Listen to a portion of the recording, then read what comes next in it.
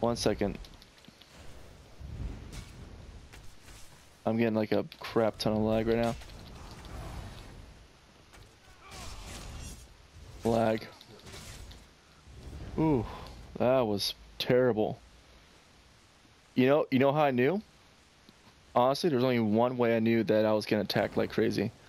I was looking at my character and I don't have buffs for the um, the little tracker. I only have a debuff tracker, and I kept seeing all these freaking squares pop up. I'm like,